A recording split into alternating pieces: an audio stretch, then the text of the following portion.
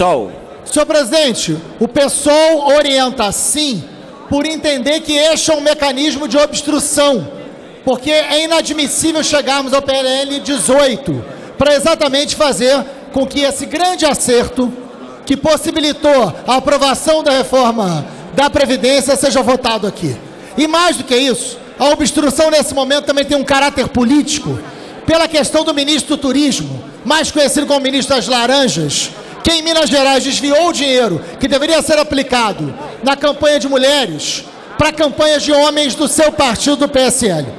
E hoje, esse ministro é indiciado pela Polícia Federal e pelo Ministério Público. Hoje, há fortes indícios de que este dinheiro desviado, este dinheiro do Laranjal, também foi usado na campanha do presidente Jair Bolsonaro.